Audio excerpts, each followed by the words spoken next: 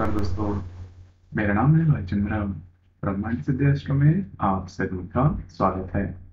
आज के इस वीडियो में हम चर्चा करेंगे दिनांक 24 सितंबर 2022 का संपूर्ण राशिफल। उससे पहले आज के दिन का जो पंचांग है, उसके बारे में चर्चा करेंगे। आज का जो दिन है, शनिवार का है। शुभकृत नाम संवत्सर है, सूर्य का। दक्षिणायन चल रहा है, ऋतु वर्षा का है महीना भाद्रपद का है। कृष्ण पक्ष की चौथवी तिथि है, नक्षत्र पूर्वा है, योग साध्य है, इनका जो करण है वह विष्टि है और जो रात का करण है वह शपु है। आज के दिन का जो गुणित काल है, वह शुरुआत होगा सुबह छह बजकर सोलह मिनट से लेकर सात बजकर चालीस मिनट तक और अभिजित मुहूर्त दोपहर ग्यारह बजकर पचपन मिनट से लेकर बारह बजकर बयालीस मिनट तक का होगा। गुलिक काल और अभिजित मुहूर्त दिन के शुभ कालावधि कहे जाते हैं। इसमें किसी भी प्रकार के महत्वपूर्ण काम या फिर निर्णय आप ले सकते हो। उसी प्रकार आज के दिन का जो राहु काल है वह शुरुआत होगा सुबह नौ बजकर सत्रह मिनट से लेकर दस बजकर अड़तालीस मिनट तक और यमुगंड काल दोपहर एक बजकर उनचास मिनट से लेकर तीन बजकर बीस मिनट तक का होगा। राहु काल और यमगंड काल दिन के अशुभ कालावधि कहे जाते हैं। इसमें किसी भी प्रकार के महत्वपूर्ण काम या फिर निर्णय बिल्कुल भी नहीं लेना।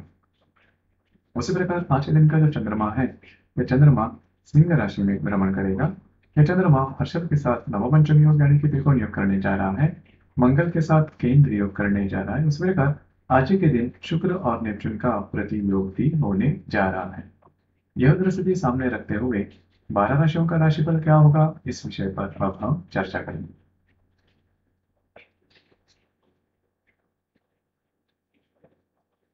तो सबसे पहली राशि है मेष राशि। मेष राशि के पंचम भाव में चंद्रमा का भ्रमण है और आप ही के द्वितीय भाव में सिर्फ़ मंगल के साथ यह चंद्रमा दृष्टि अधिष्ठित केंद्र करने जा रहा है। आपके राशि में सिर्फ़ अशल के साथ यह चंद्रमा नवपंचम योग यानी कि त्रिकोण योग करने जा रहा है। तो आज का जो दिन है थोड़ा महत्वपूर्ण साबित होगा। अगर आप किसी के रिलेशनशिप में हैं तो वहाँ पर छोटी मोटी बातों को लेकर तकरार हो सकती है और वह थोड़ी बढ़ भी सकती है। लेकिन अगर आप शेयर मार्केट में ट्रेड करते हो तो कुछ अच्छे लाभ वगैरह मिलने की संभावना काफ़ी अच्छी बन रही है। उसी प्रकार आपके पंचम भाव में से शुक्र के साथ आपके लाभ भाव का जो डिविजन है, वो भी प्रतियोग करने जा रहा है। तो अगर आप तो आपके जो वैवाहिक जोड़ीदार है, उनमें और आप में मिसअंडरस्टैंडिंग हो सकती है और इसके वजह से आपके जो रिलेशनशिप में इसमें दरार भी आ सकती है। तो थोड़ा सा चौकन्ना रहना ज़्यादा आवश्यक होगा।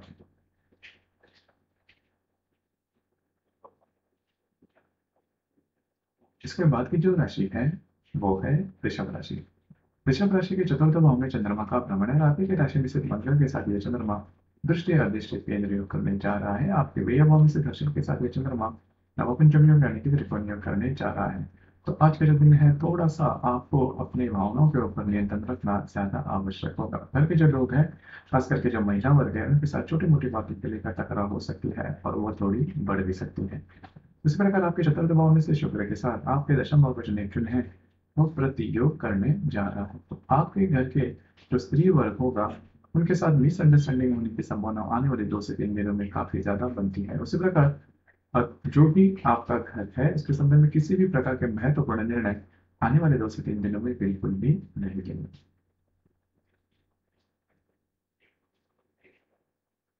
इसके बाद की जो राशि है, वो है मिथुन राशि।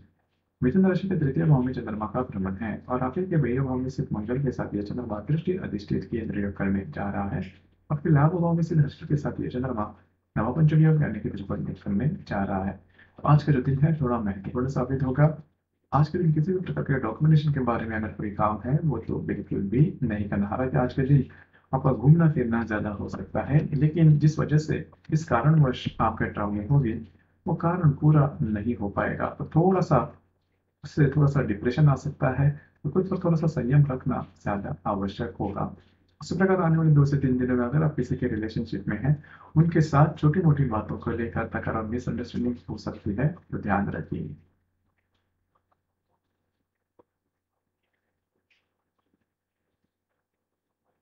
इसके बाद की जो राशि है, वो है कर्क राशि। कर्क राशि के द्वितीय भाव में चंद्रमा का भ्रमण है।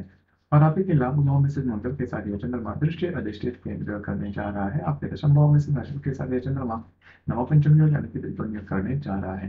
तो आज का जो दिन है थोड़ा महत्वपूर्ण होगा। आपके जो भी स्पेंडिंग वाली बातें हैं या फिर पैसों के मामले में कोई भी बात है तो थोड़ा सा आपको चौकन्ना रहना होगा। मतलब आप जो भी अनुमान लगाओगे, वो सही साबित होते हुए नज़र नहीं आएँगे। अनएक्सपेक्टेड खर्चे वगैरह होने की संभावना काफ़ी अच्छी बन, काफ़ी ज़्यादा बन रही है। उसी प्रकार पैसों के लेकर बहुत ज़्यादा आज के दिन आप चिंतित हो सकते हो आपको थोड़ा सा खुद पर नियंत्रण रखना आवश्यक होगा। इसी प्रकार आपके द्वितीय भाव में से शुक्र के साथ आपके अष्टम भाव जो नेपचुन है, वो प्रतियोग करने जा रहा है। और अगले दो से तीन दिन में घर के जो लोग हैं या फिर आपके जो मित्र परिवार है, उनके साथ छोटी मोटी बातों को लेकर तकरार हो सकती है और वह तकरार थोड़ी बढ़ भी सकती है।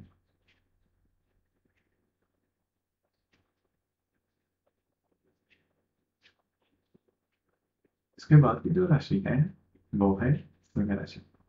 सिंह राशि में ही चंद्रमा का भ्रमण है और आप ही दशम भाव में स्थित मंगल के साथ यह चंद्रमा दृष्टि अधिष्ठित केंद्र प्रयोग करने जा रहा है। आपके भाग्य भाव में से दर्शन के साथ ये चंद्रमा नव पंचमी यानी कि त्रिकोण में करने जा रहा है। आप के राशि में शुक्र के साथ आपके सप्तम भाव का जो लक्षण है, वो प्रतियोग करने जा रहा है।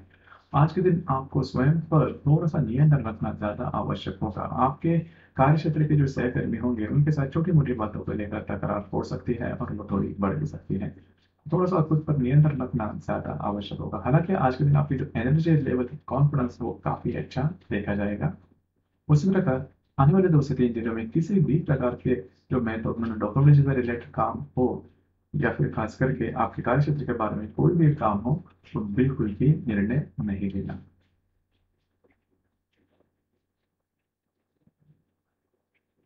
इसके बाद की जो राशि है, वो है कन्या राशि। कन्या राशि के भैया भौमी चंद्रमा का फल है, और आगे के भाग्य भौमी से मंगल साथ यह चंद्रमा दृष्टि अधिष्ठित केंद्रीय करने जा रहा है। आपके अष्टम भाव से राशि के साथ यह चंद्रमा नवपंचम योग यानी कि त्रिकोण करने जा रहा है। आज का जो दिन है, आज के दिन किसी भी प्रकार के महत्वपूर्ण डिसीज़न बिल्कुल भी नहीं लेना, आज आपको थोड़ा स्ट्रेस ज़्यादा आ सकता है। तो कोई भी बात है, उससे ज़्यादा सोच विचार नहीं करना, क्योंकि एक दो दिनों में ये जो बातें हैं, वो नॉर्मल भी हो जाएँगे। आज के दिन चाहे स्ट्रेस किसी भी फ़ील्ड से रिलेट करने वाला हो, बिल्कुल भी उससे ज़्यादा सोचना समझना नहीं। या फिर उसकी वजह से स्ट्रेस बिल्कुल भी नहीं लेना। आपके वीर भाव से शुक्र के साथ आपके षष्ठ भाव का जो निपचुन है वह प्रतियोग करने जा रहा है। तो आने वाले दो से तीन दिनों पैसे के मामला में कोई भी डिसीज़न बिल्कुल भी नहीं लेना।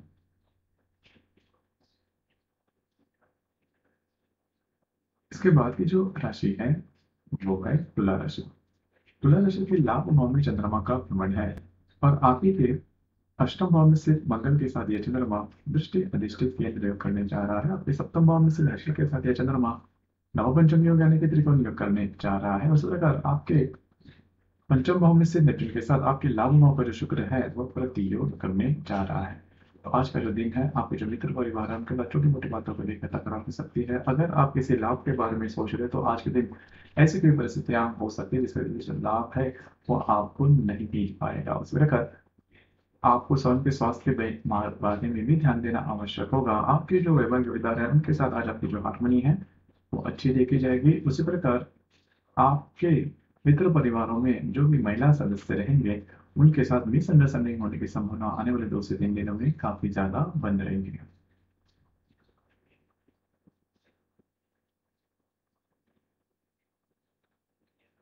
इसके बाद की जो राशि है, वो है वृश्चिक राशि। वृश्चिक राशि के दशम भाव में चंद्रमा का भ्रमण है और आप ही के सप्तम भाव में सिर्फ़ मंगल के साथ यह चंद्रमा दृष्टि अधिष्ठित केंद्र करने जा रहा है। आपके चतुर्थ भाव आपके षष्ठ भाव में स्थित पश्चिम के साथ यह चंद्रमा नवो पंचमी योग यानी कि त्रिकोण में करने जा रहा है। आपके दशम भाव में से शुक्र के साथ आपके चतुर्थ भाव का जो नेपचुन है, वह प्रति योग करने जा रहा है। आज का जो दिन है थोड़ा महत्वपूर्ण साबित होगा खास करके आपका जो भी कार्य क्षेत्र है, उससे रिलेटेड किसी भी प्रकार के बड़े निर्णय नहीं लेना। उससे रिलेटेड थोड़ा स्ट्रेस आप पर बना रहेगा। तो खुद पर थोड़ा संयम रखना भी ज़्यादा आवश्यक होगा। उसी जगह अगर आप विवाहित हो तो आने वाले दो से तीन दिनों में आपकी जो वैवाहिक विदार है, उनमें और आप में ऐसी कोई प्रॉब्लम कॉम्प्लिकेशन हो सकती है, जिसकी वजह से थोड़ा सा डाउटफुल आप म्यूचुअल रिलेशनशिप में हो सकते हो। इसके बारे में थोड़ा सा ध्यान दीजिए, क्योंकि ये जो बातें हैं, इससे आपके रिलेशनशिप पर काफ़ी गहरा असर हो सकता है। तो दो तीन दिनों के बाद ये जो बातें हैं, वो नॉर्मल भी हो सकती है। लेकिन अभी करीबन दो से तीन दिनों तक किसी भी प्रकार के नेगेटिव विचार आपके जो वैवाहिक विचार के बारे में बिल्कुल भी नहीं करना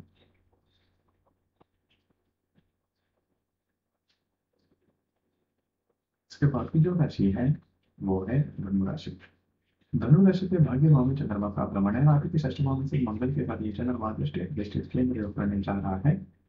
उसी प्रकार आपके पंचम भाव में से मंगल के साथ ये चंद्रमा नवम पंचम करने जा रहा है। आपके तृतीय भाव में से नेपच्यून के साथ आपके भाग्य भाव पर जो शुक्र है वह प्रतियोग करने जा रहा है। तो आज का दिन है, थोड़ा महत्वपूर्ण साबित होगा। अगर आपको जो मूड है, वो काफ़ी अच्छा देखा जाएगा आपकी एनर्जी लेवल है, वो भी काफ़ी अच्छी देखी जाएगी।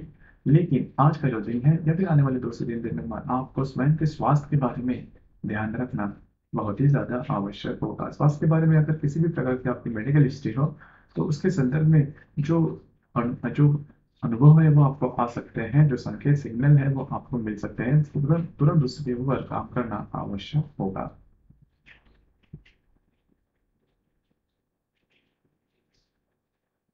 इसके बाद की जो राशि है, वो है मकर राशि। मकर राशि के अष्टम भाव में चंद्रमा का भ्रमण है। और आप के पंचम भाव में से मंगल के साथ ये चंद्रमा दृष्टि अधिष्ठित केंद्र करने जा रहा है। आपके चतुर्थ भाव में स्थित हर्षल के साथ ये चंद्रमा नवपंचमी हो जाने के त्रिकोण करने जा रहा है। आपके अष्टम भाव में से शुक्र के साथ आपके द्वितीय भाव का जो नेपच्यून है, वो प्रतियोग करने जा रहा है। स्वास्थ्य के बारे में ध्यान रखना काफ़ी ज़्यादा आवश्यक होगा। उसी प्रकार अगर आप किसी के रिलेशनशिप में हैं तो वहाँ पर आने वाले दो से तीन दिन में थोड़े से एक्सट्रीम लेवल तक जो परिस्थितियाँ है, वो जा सकती है। उसी प्रकार जो भी आपका कार्य क्षेत्र, वहाँ पर जो लोग होंगे, उनसे भी थोड़ा सा आपको सजग रहना आवश्यक होगा।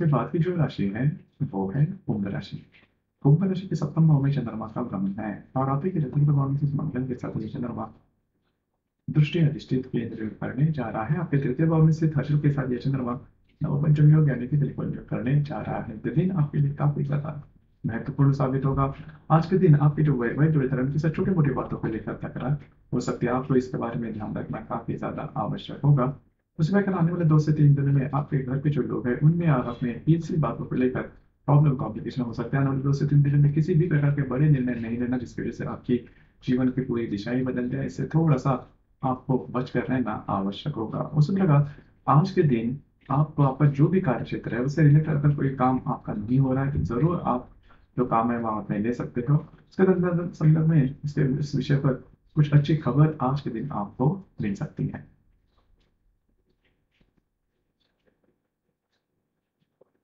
इसके बाद की जो राशि है वो है मीन राशि मीन राशि के षष्ठ में चंद्रमा का भ्रमण है और आपके के तृतीय भाव में सिर्फ़ मंगल के साथ चंद्रमा दृष्टि अधिष्ठित केंद्र करने जा रहा है आपके द्वितीय भाव में के साथ ये चंद्रमा करने जा रहा है आज का जो दिन है, आपको अपने स्वास्थ्य के बारे में ध्यान रखना काफ़ी ज़्यादा आवश्यक होगा। आपके जो सहकर्मी होंगे, उनसे भी ऑफ़िस पॉलिटिक्स जैसी बातें आपके साथ हो सकती है। तो सा चौकन्ना रहना, सजग रहना ज़्यादा आवश्यक होगा। उसी प्रकार आने वाले दो से तीन दिनों में आपको अपने स्वयं के स्वास्थ्य के बारे में भी ध्यान रखना काफ़ी ज़्यादा आवश्यक होगा। दोस्तों, ये था दिनांक चौबीस सितंबर 2022 का संपूर्ण राशिफल। आपको ये राशिफल कैसे लगा? आपने किस प्रकार से अनुभव किया? मुझे कमेंट बॉक्स में ज़रूर कमेंट करना। और अपना जो चैनल है ब्रह्मा नसीब भी लाइक, शेयर और सब्सक्राइब ज़रूर करना। that you might.